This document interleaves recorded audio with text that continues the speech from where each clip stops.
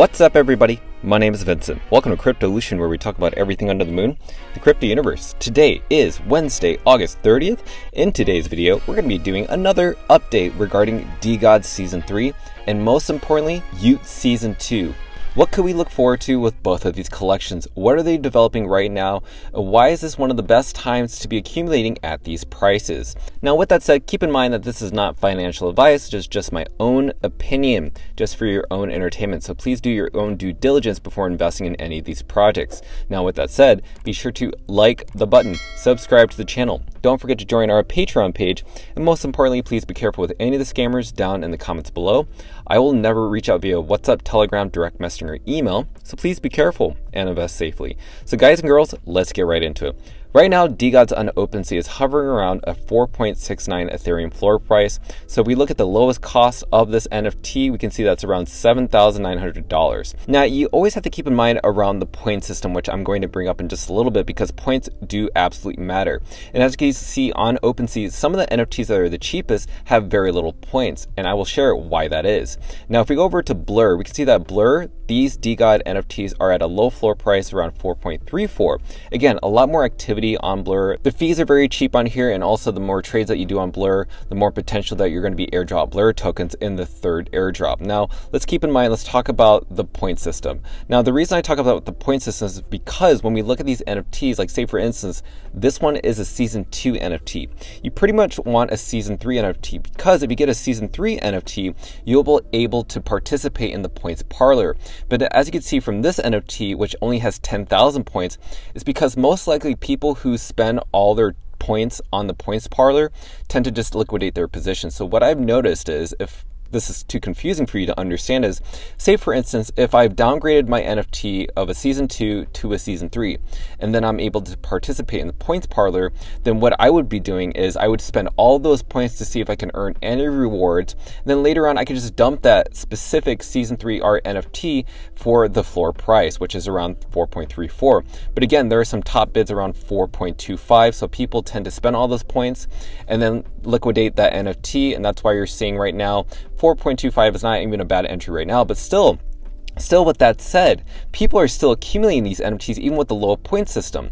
Like, say for instance, this one just sold for around 4.4 Ethereum on Blur, but only had around 5,000 points. So people are buying this dip regardless. They don't care about the point system. They just want to have exposure to these DeGod NFTs. Now, what's going on with the statistics around the points parlor? Because that's the really more important thing. So right now, over the past 14 days, we've seen an increase of daily active DeGods jump from 4,200 unique owners or NFTs to around 5,400. Now, the, the, points that are being spent per day have actually decreased by almost like 50%, but nonetheless, the amount of prizes won within that certain amount of people have jumped up over 77%, as you can see here. Now, the top prizes that have been won thus far have been a couple MacBooks, some gift cards, some Louis Vuitton wallets, and more. Now, let's go ahead and look into some other statistics, right? Because we have to see how many packs have been open. Roughly around 423 million packs have been open to date as of August 28th. Now, over the prizes that have been won, over 542 actual prizes have been won. These are not just the dust tokens, but these are actual prizes. And in terms of the average amount of points that were spent per DeGod, it's around 77,000. So we haven't seen a lot of people spend over 100,000, which is really good. Now, let's go ahead and look into the rewards. Again, we talked about Apple products. Say, for instance, we have Cramrog, who won an Apple Watch Series 8. Then we also have this person, Jurgen, who won an AirPods AirPods third generation AirPods. So these are the headphones that you can get from just literally spending your points that you don't have to spend money on, just the points that you earn to stake. You can just get something for free from here. Next up, we also have this person, Ansel, who won a HomePod Mini. How crazy is this that we're seeing all this being won based on the different sponsorships that have been participating? Because again, a lot of different sponsors have been participating in the sponsorship because it garners more awareness to their product. So this was bought by Decent, which is also another trading platform that allows people to swap their tokens, which is the Dust token, from Ethereum, Solana, and Polygon. Because a lot of people have been wondering, how do I buy Dust token to fit into all these different blockchains? Well, Decent is absolutely one of those avenues to participate in.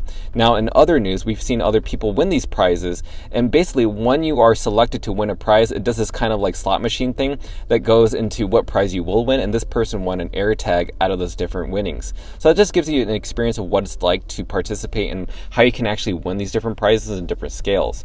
Now, next up, we also have the Points Parlor Average Daily Packs. Now, a lot of people have been wondering, like, how can I actually win these packs? What strategy should I use? How many points should I be spending? So a lot of people have been using the three by three by three rule, which means that there are three different cards, A, B, and C, and this goes and solidifies everything that we've talked about on our channel, which is basically for each card for A, B, and C, you would just pull three draws, not four, not two, but basically that's what people have been using that formula based on their 333 rule, if that makes any sense. Now that's everything regarding DeGods. I think in this video I want to share more about what's going on with y00ts because again, y00ts I think is one of the most undervalued assets as the floor sits around literally underneath one Ethereum. So again, this is one of the best dollar cost entry points or the best entry into this ecosystem within the D Labs community. And y00ts right now has a lot of things going under its belt that's under the scenes. Like this is a full of content creators and also people who just want to garner more awareness, but also want to build their IP. So let's go ahead and talk about the cheapest NFT right now. This one has around a 0.99 Ethereum floor price, around roughly 1,695 US dollars. Again, a good amount of points for these NFTs because again, these points haven't been used yet, and we've talked about that on our channel. Now let's go ahead and talk about the actual analytics because right now we did see an increase from around literally 0.63 to 0.75 Ethereum all the way up to its new support level of around 1 Ethereum. Now you can see that right now there have been many sales over the past few minutes. And again, people are buying these not as often as compared to DeGods, which is in the minutes, but within uh, y00ts on Polygon, we're seeing more active daily sales within this collection, even though it's very difficult to buy these things because there's a bit of a learning curve. Now, if we look at what's developing within the Polygon chain, we can see that y00ts right now is ranked number four in terms of the total volume transactions within all of NFT collections within Polygon. Now, again, I think y00ts right now is undervalued. Yes, it hasn't garnered that much like actual trading volume, but it's because people don't really understand how to buy the NFT in wrapped Ethereum. Many of these other different projects are sold in Matic tokens, which is much easier. But with y00ts, it's sold within Ethereum, which is good because it's priced in Ethereum. So once this migrates over to Ethereum, which the date hasn't been announced yet, I expect that the one Ethereum floor price won't be there for too long because again, more Ethereum heads have more liquidity and they'll be buying more. Now let's talk about the overall sales that we've seen already. How many people have bought over the floor price above the one Ethereum floor price and have scored some great grails. Well, this is a great grail. This one is a Mick shirt with these amazing devil horns. And again, a clean version, red on red on red colors for only 1.4 Ethereum.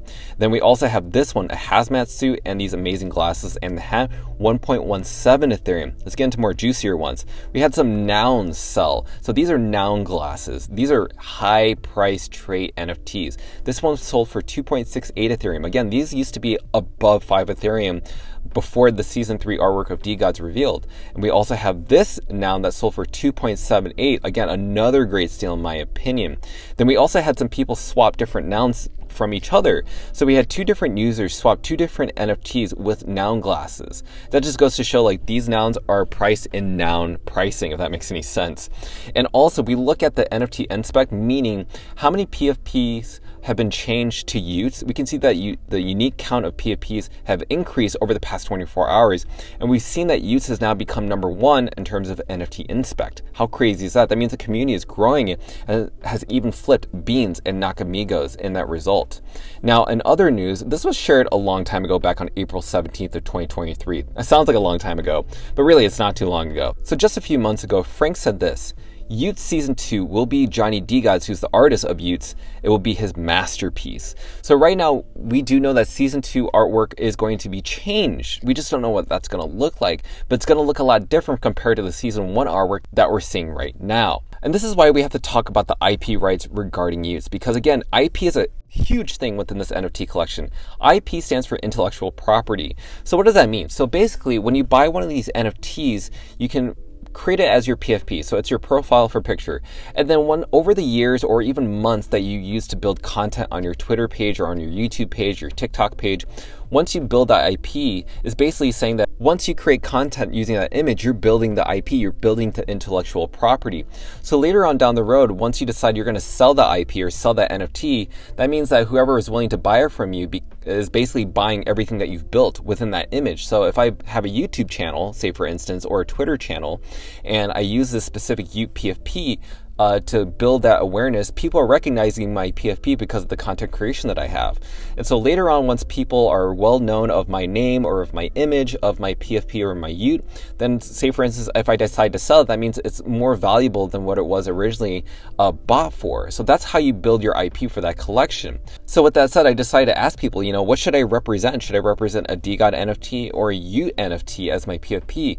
And out of the 133 people that voted, 61% of you said said yes to y00ts. So that is exactly what I did. I decided to change my PFP into a y00t, and the response from the community has been huge.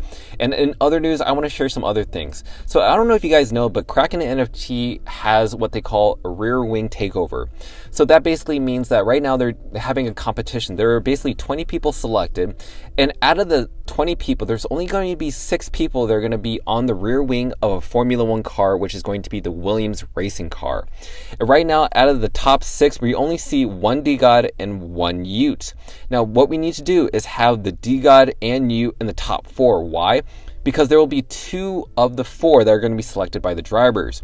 So we can't rely on Alex Albon or Logan Sargeant to choose those NFTs. We have to secure our spot in the top four because the top four will be guaranteed that spot. So be sure to like and subscribe and also vote for them if you can on Kraken NFT on their Twitter page if you can. And the last thing I want to share with everybody is that today at around 5 p.m. and 6 p.m. Pacific time, there's going to be an orientation via the Discord page. Basically, this orientation is going to allow people to understand how they can basically contribute to this community. You get to meet the founders, you get to meet the creators, you get to meet fellow holders and content creators within both of those communities. And you get to find out how you can participate in this and you can also grow this community together. So DeGods is going to be at 5 p.m. Pacific time and y00ts at 6 p.m. Pacific time. So with that said, let's go ahead and conclude the video. How do you feel about DeGods? Right now the floor price is around 4.69 Ethereum. People are accumulating these NFTs regardless of the amount of points that are left on those NFTs. And I think that right now the NFT bull market, when it does come, these NFTs will be valued past its all-time high price around 10 Ethereum. We could see all-time high prices even further than that. But let's also talk about y00ts. How do you feel about the IP, the unique profile for picture counts that are increasing on NFT Inspect, and also regarding the season two artwork, where I cannot wait to hear all those comments down below on both YouTube and Twitter, and I cannot wait to read them. So with that said, be sure to smash the like button, subscribe to the channel, don't forget to join our Patreon page to receive all of our alpha calls and buy and sell orders on both NFTs and cryptocurrencies. Until then, see you guys and girls next time.